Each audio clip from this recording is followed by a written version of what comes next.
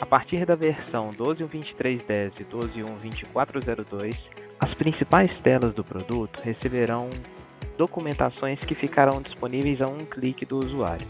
Ou seja, caso você acesse uma tela no padrão livre dentro do produto RM, se essa tela obter alguma documentação associada a ela, você será notificado sobre a documentação.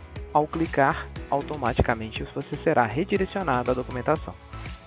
Nesse exemplo que eu vou mostrar agora, podemos ver tanto o KCS em três telas diferentes, quanto How To, vídeos do YouTube, dentre outras documentações.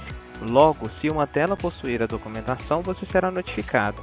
Caso você acesse alguma tela de cadastro, de edição ou de exclusão de informações e não for notificado, fique tranquilo, pois o suporte irá associar em breve uma nova documentação. Além disso, essas documentações são atualizadas em tempo real. Você não precisa realizar nenhum tipo de operação para que você possa receber essas documentações. Basta apenas atualizar para uma das versões de mercado ou versões futuras.